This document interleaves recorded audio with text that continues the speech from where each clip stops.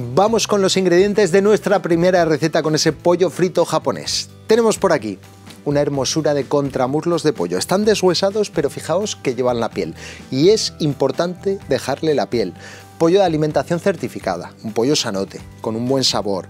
Y de esa manera la piel también es sana y se puede dejar muy crujiente y por eso la dejamos, porque el objetivo es dejar la piel como un torretno, o casi. Y luego la salsa y marinada que acompaña. Va a ser hecha a base de jengibre, ajo, partes iguales, rayaremos y que salga más o menos la parte igual, unas 6 cucharadas de salsa de soja, vino blanco, pimienta negra y con eso lo tenemos listo. Así que sin más, vamos a darle caña al tema. Lo primero de todo vamos a mezclar los ingredientes de nuestra marinada. Así que tenemos por aquí, fijaos, vino blanco, es una pasada esta receta, de verdad es altamente adictiva. Si os gusta el pollo frito, que yo creo que rara vez encuentras a alguien a quien no le gusta el pollo frito, otra cosa es que debamos comerlo con mesura. Eh, pues no puedes comer pollo frito todos los días. Frituras, conveniente, lo que dicen todos los nutricionistas, dietistas, dos veces al mes. Fijaos, eh, somos un país de frituras. La verdad es que esto no lo saltamos a la torera, pero esto es lo que nos dicen eh, que debería ser. Eso sí, cuando comas fritura, cómela bien hecha y cómela lo mejor posible. No te comas unas papas bravas congeladas, hazme el favor, porque te estás quitando una de las dos veces, o tres o cuatro, que puedes comer fritura al mes y estás gastando tu comodín de la fritura, vamos a llamarlo así, en una fritura chabacana y macarra. Así que come buenas frituras cuando lo hagas. Bueno, ponemos más o menos, fijaos, son partes iguales de salsa de soja, salada, no es dulce, y de vino blanco. Ponemos también pimienta negra en la medida de la pena limonera, es decir, como si no hubiese un tomorrow, o un mañana, perdón. Unos 20 giritos de pimienta negra, que diréis, qué barbaridad, no os preocupéis, que luego ayuda, es un potenciador del sabor la pimienta negra. Y vamos a poner partes iguales de jengibre rallado y de ajo rallado. Como siempre, no pelo el jengibre, o como casi siempre, y lo que hago es lavarlo y ya está, porque la piel os garantizo que no, no molesta ni se nota para nada. Así que, mira, voy a rayar primero el ajo y luego rayo el jengibre, que así le quito un poquito ya de olor que impregna el rallador con el jengibre. Muy bien, rayamos por acá, dientes de ajo, por cierto, que no tienen nada de germen, con lo cual no van a ser muy fuertotes y rayamos dos dientecicos de ajo y esta pasta de ajo, más la pasta de jengibre, más la salsa de soja, pimienta negra y vino blanco conforman una marinada maravillosa, marinada maravillosa. Me ha salido así, sin pensarlo, que le va a dar un sabor tremendo a nuestro pollo. Lo dicho, partes más o menos, no hace falta coger una cuchara ni una pesa ni medirlo, pero más o menos a ojo de buen cubero, bonita expresión también viejuna donde las haya, más o menos partes iguales de jengibre rallado y de ajo rallado. Y yo creo que así lo tenemos. Golpeamos un poquito estos ralladores, que por cierto son una maravilla. Gran inventazo de la cocina. Ya sabéis que en la cocina van apareciendo aparaticos maravillosos que te hacen más fácil la vida. Y estos ralladores microafilados que se llaman son la bomba. Que por cierto, la historia es curiosa. No sé si la he contado alguna vez, pero estos ralladores nacen de nuestro afán, el afán que tenemos los cocineros de robarles herramientas al resto de gremios. Por ejemplo, las pincitas, pues son de cirujano. Las pincitas de postureo, tal que estas, son de cirujano. Las espátulas, aunque sean pequeñas o más grandes, son de pintor. Son de paleta o de pintor o son para allanar paredes, ya sabéis, pues lo típico. El soplete que usamos tanto, pues de muchos gremios menos del nuestro. Y estos rayadores se los robamos o se los cogimos prestados a los ebanistas. Esos rayadores en principio eran destinados a la madera, lo que pasa es que los vimos y rayaban mucho mejor que el rayador troquelado de toda la vida, este de cuatro lados de cencerro, que para algunas cosas sigue yendo muy bien, ¿eh? y me sigue gustando, por ejemplo, para rayar tomate, pero para rayar por ejemplo, jengibre o chocolate o nueces, cosas que con el otro no se podía hacer, pues viene muy bien. Sacan unas texturas y unas virutas increíbles. O queso también, que sacan nubecitas de queso que prácticamente soplas y vuelan. Entonces los fabricantes de estos ralladores destinados a la ebanistería dijeron, hombre, pues tenemos aquí un filón.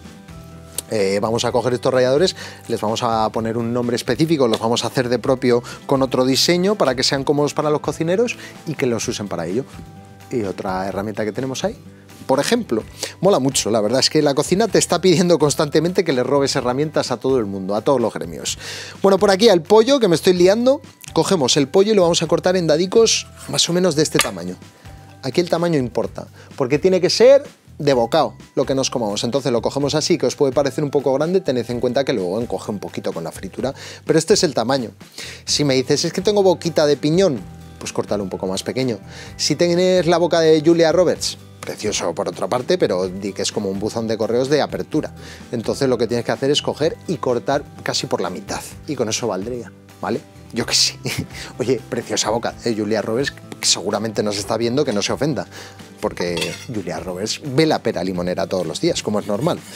Bueno, por acá, el pollo con la piel, de alimentación certificada, si hay presupuesto, que es muy poquito más dinero, y el resultado y el sabor se notan. La piel va a dejar una textura crujiente maravillosa. Vamos a cortar todo el pullastre y lo vamos a dejar aquí, sumergido en ese spa de sabor, pues más o menos una horita. Spa que coja sabor. me he quedado cortando el pollo y me callo, ¿vale? Venga, ahora volvemos.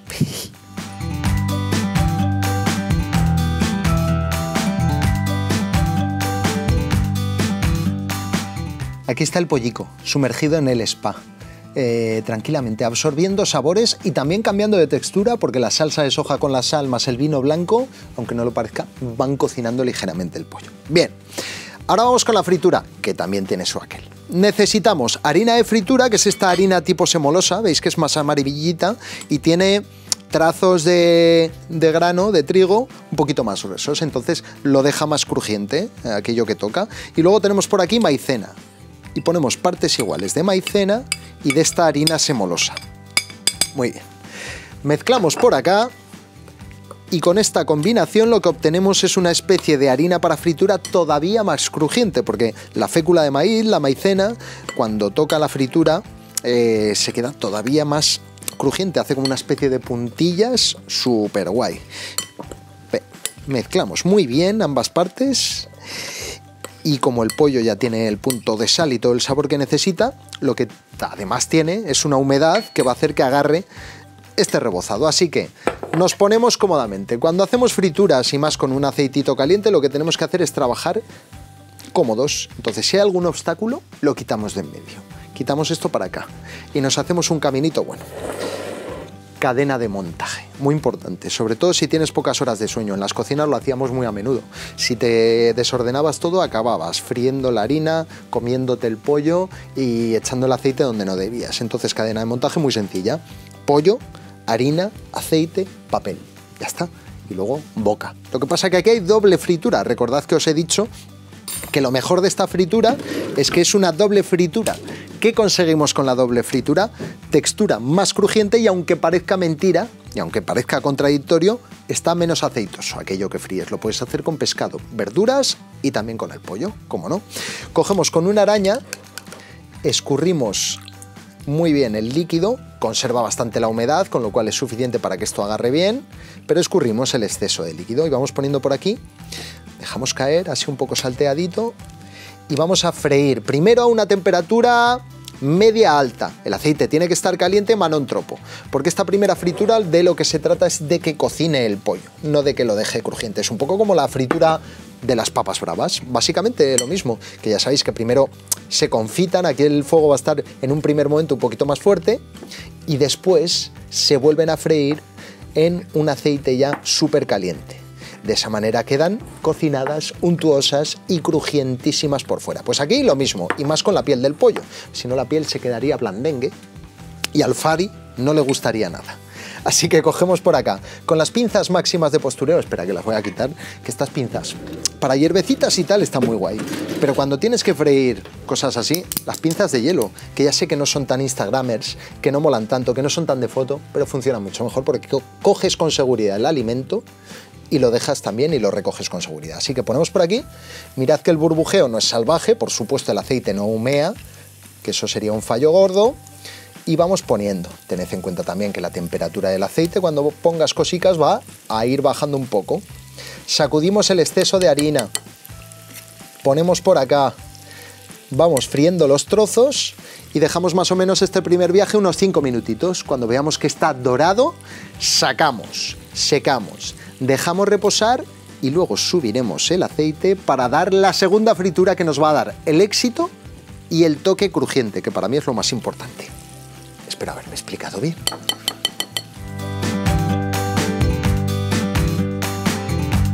Y dicen que aparece en amarillo en los mapas. Y dice que también así tiene la cara. Japón, mira que está lejos Japón. Y mira que cocinan bien y hacen cosas curiosas, como por ejemplo este pollo frito. Estamos con la segunda fritura.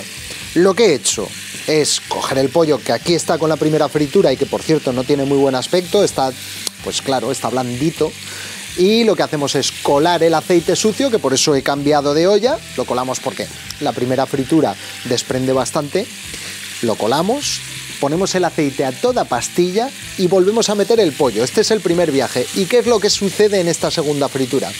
Pues sucede lo que tiene que suceder, que la piel sufla. Mirad, mirad, vamos a intentar coger este trocito. Mirad este trocito, a ver si no me quemo, como ahí la piel está inflándose queda como un torreznito de pollo maravilloso, queda súper crujiente, tostado y lo que os decía, menos aceitoso. Es la técnica de las, de las patatas fritas, de las papas bravas. Primero un poquito más flojo y luego un poquito más fuerte. Y de esa manera conseguimos un pollo maravilloso. De hecho, de hecho, esto nos valdría para avanzar un poco de faena si quieres, pues por ejemplo, hacerte la comida y dices tú, hago esta primera fritura, me lo dejo ahí y a la hora de comer frío, a fuego fuerte y sirvo. Y de esa manera te comes el pollo súper crujiente, calentito, piel atorreznada. Ay, me estoy excitando, la verdad. Cogemos por acá el pollo, cuidado que peta, me ataca el aceite y eso sí que no puede ser María Teresa. Sacamos que ahora ya está bien dorado, crujiente y cocinado por dentro, también importante que son contramuslos que les cuesta un poquito más que la pechuga. Escurrimos muy bien con la araña, una herramienta maravillosa que imita el cestillo de una freidora y ahora cogemos con las pincicas y terminamos de freír el pollo. Oh, ¡Qué auténtica maravilla! Pollo frito bien hecho, ¿no os creéis que, no creéis que es eh, fácil de conseguir? Bueno, ya estáis viendo que sí, pero no es fácil de encontrar, que hay muchos sitios pues hombre, que esta doble fritura cuesta un poquito más de trabajo. Pero ahora que ya sabéis el secreto, todos podéis comer un pollo frito estupendo. Cogemos por acá, segunda tanda, Obviamente cambiamos el papelico para que esté bien limpio. Uy, este churrasquito de piel va para adentro. Meneamos y vamos al lío con los acompañamientos. Lo que vamos a hacer es coger por acá tallo de cebolleta. Picamos así, bien finito, porque esto lo vamos a poner entremezclado con el pollo frito para encontrárnoslo y que nos dé un toque de frescura bien guay. Además, cogollos. Los cogollos van a hacer de cubierto. Ya sabéis, esa técnica que nos gusta, así rollo coreano, que consiste en coger cogollicos, hojas bien crujientes, amplias, en los que quepan dos o tres trozos de pollo, para ir comiéndolo pues tipo burrito, o tipo taco, mejor dicho, mexicano, para que le dé también un toque de frescura. Al final estamos comiendo una fritura, es pollo frito, es contundente, es sabrosón, pero si le pones cosas fresquitas entra mucho mejor. Una cosa que a mí me gusta mucho, rodajica de limón también. Yo soy de los que a los calamares a la romana, por ejemplo, siempre les ponen chorradita de limón. Que sé que a mucha gente les parece un crimen. Pues a mí me encanta. Y no voy a dejar de hacerlo porque los así los talibanes de la fritura te llegan, no, que le matas el sabor. Pues a mí me gusta, oye, y creo que a mucha gente también estará de acuerdo conmigo. Además, toquecito picante opcional, pero para mí suma. Salsa sriracha ya sabéis, esa salsa de vinagre, ajo, chile, sal y azúcar. A veces lleva algún ingrediente más, pero esos son los básicos que le dan un toquecito picante y maravilloso. Oh, esto está listo. Apagamos motores. Escurrimos bien el pollo. qué auténtico escándalo, ¿eh? Qué visión celestial. El rey del pollo frito a partir de ahora está en la pera limonera. Y en vuestra casa también, que tenéis la receta. Sacamos esos últimos trocicos escurrimos muy bien y venga, vamos a emplatar que el hambre encorre, hijos míos. Secamos muy bien, meneamos. Vamos a prepararnos todo esto muy bien y vamos a hacer un emplatado a la altura de las circunstancias. Pinzas. Llenamos un buen barquillo, un buen cucurucho, una buena fuente, lo que sea, de pollo frito, con montañita, como si quisiésemos recibir a un embajador con una pirámide de pollo frito carague. Ponemos por acá, la piel, qué aspecto tiene, ¿eh? no sé si estáis viendo las gorgolletas que se hacen en la piel, pero, pero vamos, tiene una pinta maravillosa. Y estáis viendo además que el pollo no, no brilla, no tiene ese aspecto grasiento, porque la grasa se ha quedado en la fritura y luego en el papel. Así que menos grasa para el cuerpo. Yo creo que me voy a plantar aquí con este trocito, que no quiero jugármela tampoco. Ponemos por encima el tallo de la cebolleta, vamos a soltarlo muy bien y vamos a poner por encima para que nos vaya apareciendo a medida que cogemos. Tallo de cebolleta por acá, muy bien, ponemos también por aquí, por los cogollicos que nos aparezca. Perfecto, monta y cabe. A continuación ponemos riracha, unos toquecillos, unos hilillos de riracha. Ponemos también sésamo tostado. Perfecto. Y colocamos por aquí, como quien no quiere la cosa, una rodajita de limón para echártela. Y ahí lo tenemos, un maravilloso pollo frito japonés que os va a dar el éxito. Y sé que muchos de ahora, muchos de vosotros ahora estaréis con dudas. ¿Cómo se come esto, Iranzo? La centralita de la pera limonera está colapsada. Que diga cómo se come, que haga un unboxing, una demostración. Pues no pasa nada. Aquí estoy yo, me sacrifico y vuestras palabras, vuestros deseos son órdenes. Ponemos cogollo. Ponemos también un poquito de riracha, allí. Unos, unos hilitos de riracha. Ponemos el tallo de la cebolleta. Vamos a hacer el kit completo, ¿eh? Sésamo y unas gotitas de zumo de limón abrís la boca, como si fueseis la mismísima Julia Roberts. Qué guapetona es. Y para adentro. Buen provecho. Pollo karage, pollo frito japonés.